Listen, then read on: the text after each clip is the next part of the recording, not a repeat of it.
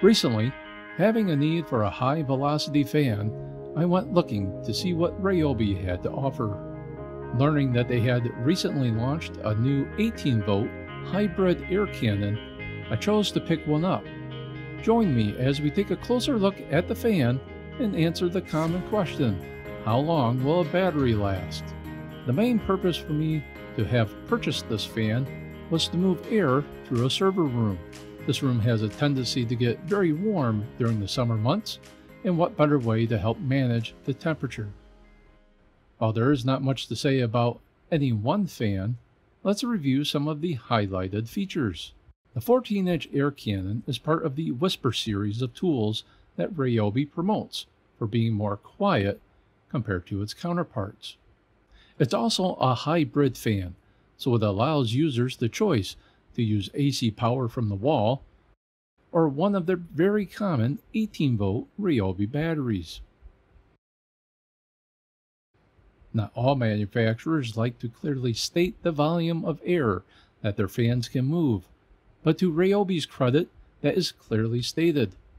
Of the three available speed settings, the fan claims to move 1400, 1850, and 2300 CFMs. Now let's jump to assembly, which is very simple. Users will find that all they have to do is place the actual fan onto the provided base.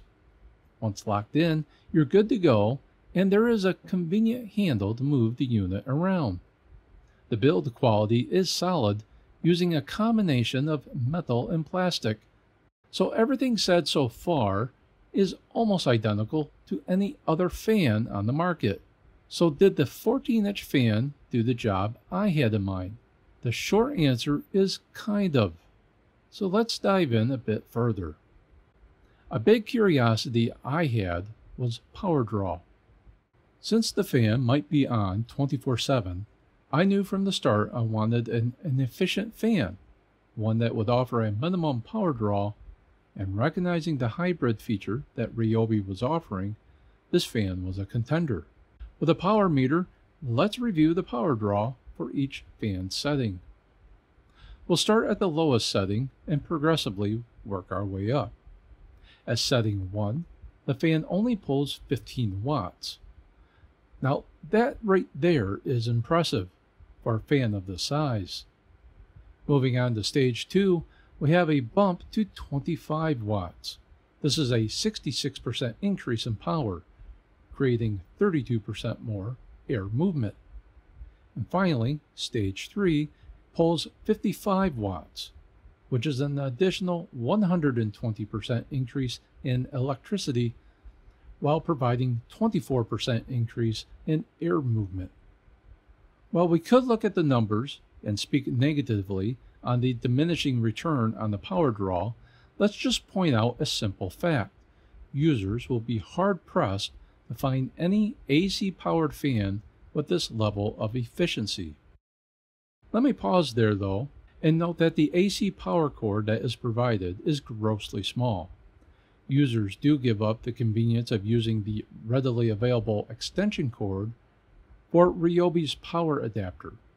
I expect this was necessary to achieve the efficiency, but the length that is provided is nothing but humorous. Moving on, let's discuss battery runtime. If one chooses to use the fan with a Ryobi 18 volt battery, runtime will be influenced based on the number of amp hours. For demonstration purposes, I have chosen a 4 amp hour battery. Let's get this plugged in and see what we get.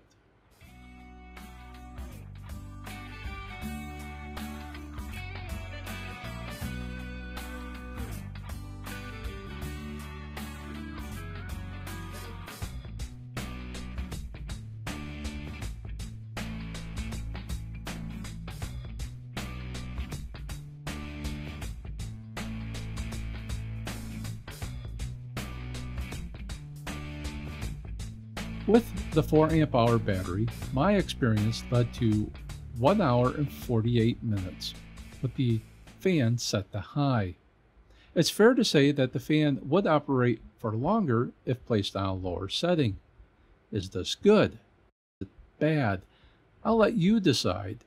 Again, for me, the option to use the battery was not much of a selling point. I've had the fan now for a bit of time and have formed this opinion. It's a fan, it's simple, it does everything it claims to do. The quality is good, and the power draw of 15 watts on the low setting is impressive. However, the 18 volt 14 inch fan from Ryobi delivers horrible value. At a price of nearly $160, this fan is too expensive. Add in the cost of any battery, and users will have over $200 invested to do the task of simply moving air. There are a gambit of fans under $100 that can do the job, many at $60. True, we give up the option of the battery and we do consume more energy, but we are also, in most cases, moving more air. I do want to note that the older model from Ryobi, their 18 inch hybrid air cannon, is currently priced at $119. This is a better deal, and I think Ryobi chose poorly in their decision to deliver a product that is slightly smaller, slightly less productive, while being slightly more efficient, leading to a much more expensive fan under their Whisper branding.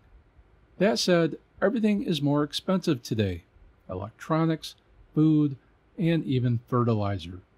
It's only a matter of time that we will see this trend in the tool industry. That's why I like to speak to value. Today, and in the days ahead, any time for that matter, we as consumers should be looking at a product's value, trying to balance our wants to our needs. In my case, I wanted to use less energy, but more importantly, I needed to move air. Noise volume was a mute point since this was placed in the server room. If budget is of no issue, then sure, let this fan be a consideration. If you want to save money and spend it elsewhere, then of course you have other options. Are you considering this fan? Perhaps you've already picked one up. In any case, share a comment below about the feature you liked most about it. I hope this video provided some insight. A tap on the like button is always appreciated. If you want to show support for the channel, take a moment to subscribe. On behalf of Bailey and myself, thanks for watching.